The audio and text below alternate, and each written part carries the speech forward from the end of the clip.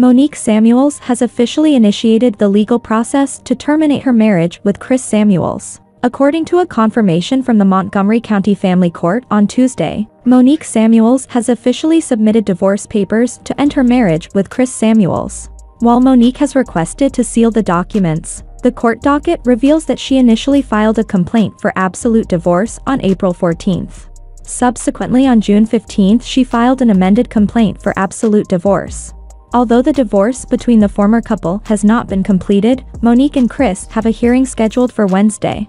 In October 2022, sources confirmed that Monique and Chris had decided to end their marriage after being together for 10 years. The former couple, who got married in 2012, have three children together, two sons named Christopher and Chase, and a daughter named Milani.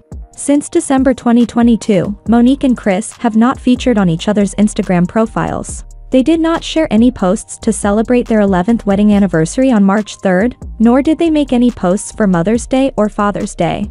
Furthermore Chris has unfollowed Monique and her company, Not for Lazy Moms, on Instagram. The first season of Love and Marriage DC, which aired earlier in 2022, revealed evident marital challenges between Monique and Chris. On Monday, October 17, 2022, the former stars of The Real Housewives of Potomac, Monique and Chris, shared an extensive YouTube video in response to a People magazine report suggesting their separation.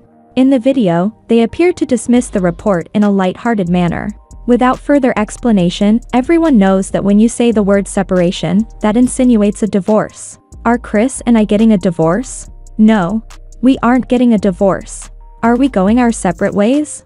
Absolutely not. Have we filed a legal separation? No.